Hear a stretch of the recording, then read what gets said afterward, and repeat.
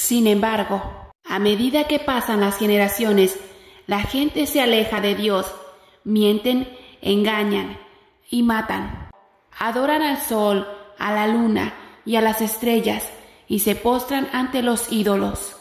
Pero hay un hombre, Noé, que se atemoriza al contemplar el pecado en el mundo.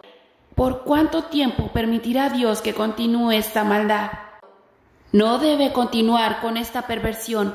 Abandonen adoración a los ídolos. Vuélvanse a Dios, quien nos creó y nos dio todo lo que tenemos. Noé se cree mejor que los demás, pero Noé se mantiene fiel a Dios un día Dios le habla. Lamento haber creado a los seres humanos. Son corruptos y violentos. Por eso voy a destruirlos. Noé, tú has sido fiel, construye un barco, porque voy a inundar toda la tierra. Noé obedece y comienza a construir una barca. Sigue las instrucciones que Dios le ha dado. Ese loco de Noé que cree que puede hacer flotar un barco en tierra seca. ¿Qué se le ocurrirá ahora?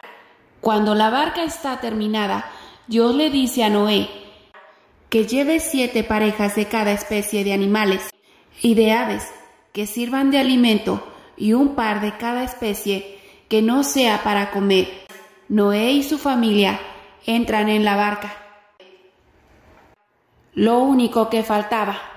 El viejo Noé pasó 120 años construyendo ese enorme barco pero nunca pensó quién cerraría la puerta. O está loco o sabe algo que nosotros no sabemos. No empieces tú a predicar como Noé. Pocos días después de pronto comienzan los relámpagos, se abren las ventanas de los cielos y comienza a caer la lluvia.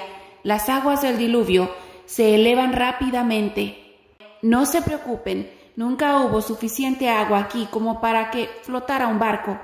Sí, pero nunca antes llovió como ahora. Miren, la puerta de la barca de Noé se está cerrando. ¿Quién la está cerrando? Podría ser el Dios de Noé. Es demasiado tarde. La gente que ha pasado su vida rechazando a Dios, ahora ve que Dios por fin los ha rechazado a ellos. La lluvia cae sin cesar por cuarenta días y cuarenta noches.